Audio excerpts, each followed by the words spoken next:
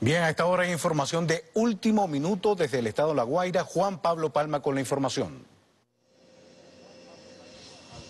Así es, a esta hora las pantallas de Venezolana de televisión transmiten a todo el país la llegada del presidente del Estado plurinacional de Bolivia, el excelentísimo Luis Arce Catacora, quien arriba a nuestro país luego de participar en la 78 Asamblea de las Naciones Unidas y viene en una visita de Estado a seguir fortaleciendo los lazos de hermandad, unidad y complementariedad con el presidente de la República Bolivariana de Venezuela, Nicolás Maduro Moros. Ahí vemos en pantalla cómo el avión presidencial del primer mandatario del Estado plurinacional de Bolivia, Luis Arce Catacora, arriba a la rampa 4 del Aeropuerto Internacional Simón Bolívar. Viene en esta visita de Estado a reunirse con el presidente Nicolás Maduro, quien representa a los 30 millones de venezolanos y venezolanas, quienes reciben a este hermano presidente, quien representa uno de los cinco países que libertó el padre de la patria, Simón Bolívar, primer presidente de este país suramericano y quien junto al mariscal Antonio José Sucre sellaron la independencia de Bolivia el 9 de diciembre de 1824 con la batalla de Ayacucho. Y vemos en pantalla cómo el mandatario venezolano Nicolás Maduro Moros sale al encuentro con el jefe de Estado del Estado Plurinacional de Bolivia, Luis Arce Catacora. Entre los puntos que planteó el mandatario en la Asamblea número 78 de las Naciones Unidas estuvieron la declaración al mundo como territorio de la paz, la construcción de un nuevo pacto para el futuro, el cambio del sistema capitalista, luchar contra la crisis climática, el impulso de los derechos humanos y la democracia, el destierro de sanciones y medidas coercitivas unilaterales y finalmente la ocupación de Palestina. Fueron la parte del el pedido que hizo el, el mandatario venezolano Luis Arce Catacora en la edición número 78 de la Asamblea de Naciones Unidas. El presidente Luis Arce viene en nombre de 12 millones de bolivianos y bolivianas, en nombre de los 36 pueblos indígenas que son reconocidos en la Constitución del Estado Plurinacional de Bolivia en el año 2009 a este encuentro con el hijo del padre de la patria, Simón Bolívar, y el comandante eterno Hugo Chávez, el presidente Nicolás Maduro. Ahí estamos viendo en pantalla todo el país cómo ondean las banderas de la República Bolivariana de Venezuela, el amarillo, azul y rojo, y la bandera del Estado plurinacional de Bolivia, el rojo, el amarillo y el verde. Ambas banderas tienen el escudo que representan a estas naciones.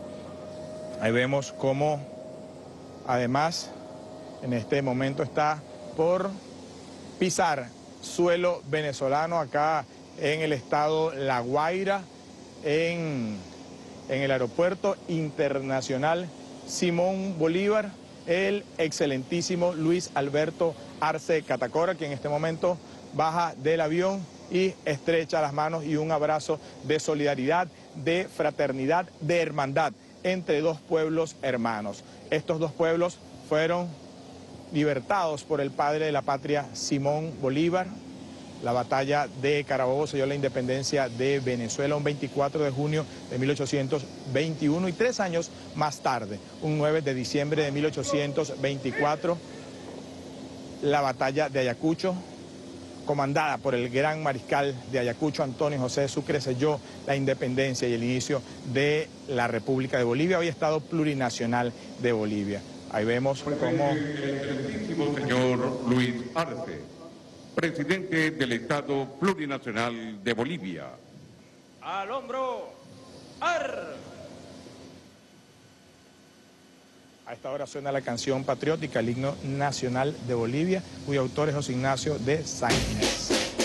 Vemos el patio, el pasillo de honor que lleva al presidente de la República Bolivariana de Venezuela, el mandatario venezolano Nicolás Maduro Moro, quien conversa con el jefe de Estado del Estado Plurinacional de Bolivia, Luis Arce Catacora, quien es recibido con los honores de un jefe de Estado por el dignatario venezolano el mandatario boliviano en su última visita a nuestro país el pasado 20 de abril en el marco de la tercera comisión de integración conjunta entre Venezuela y Bolivia firmó junto al presidente Nicolás Maduro un total de 13 documentos de cooperación para fortalecer los lazos bilaterales.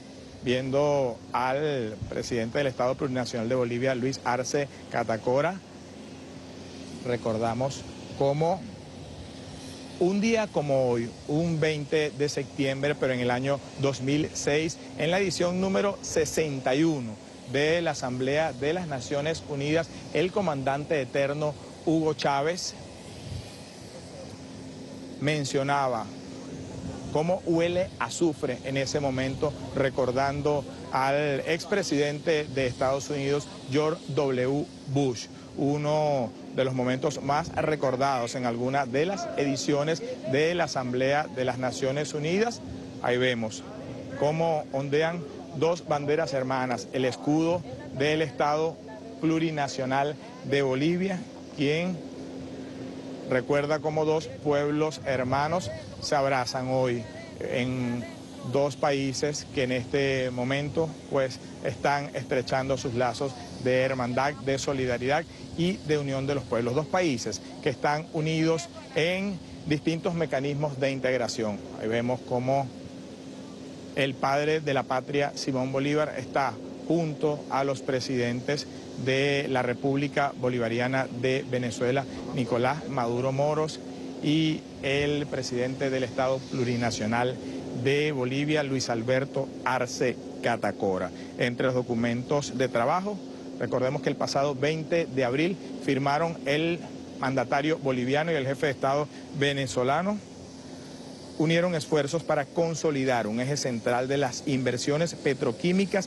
que garanticen los fertilizantes que necesitan los campesinos de América Latina y el Caribe. Fueron uno de los 13 documentos que firmaron. Además del desarrollo petrolero, los pueblos de Guaycaipuro y Tupac Katari trabajaron en los ámbitos económico, gasífero y petroquímico, en la interconexión aérea, académico, de salud, minería ecológica, agrícola, cultural y otros asuntos de alto interés para ambas naciones. Es el ambiente que se vive a esta hora de hermandad y de fraternidad entre los presidentes y dos países que se abrazan, 30 millones de venezolanos y 12 millones de bolivianos y bolivianas. Es la información que se genera a esta hora y que le llevamos al pueblo venezolano. Venezuela y Bolivia son dos naciones que tienen relaciones diplomáticas desde hace 140 años. Sin embargo, fue desde 2006 con la llegada del líder indígena Aymara, Evo Morales, y en ese momento ya estaba